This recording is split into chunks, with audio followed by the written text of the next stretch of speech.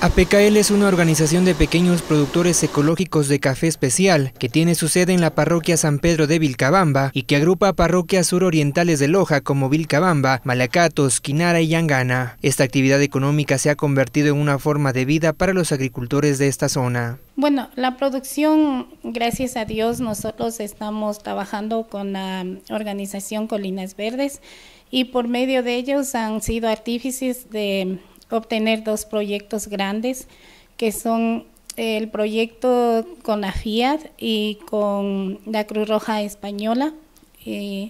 entonces con ellos estamos trabajando este emprendimiento y, este sueño también que hemos tenido.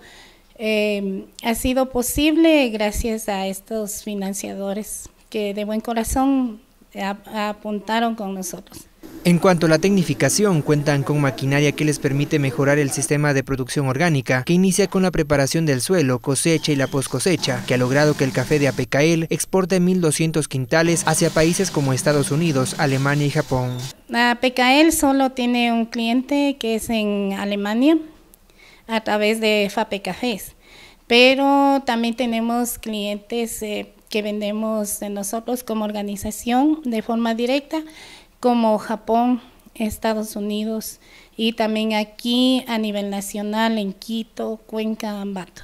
Uno de los principales factores para el rendimiento del grano del café es el clima y la lluvia, que en esta zona se cultiva a 1800 metros de altura. Se procesa con los más altos estándares de calidad, seleccionando cuidadosamente cada grano de café y un tostado con expertos para garantizar su sabor y aroma esa política de que la gente vea que lo conveniente que es cultivar orgánicamente, el daño que nos están haciendo todos estos químicos, en, todo este cáncer y, muchas consecuencias más.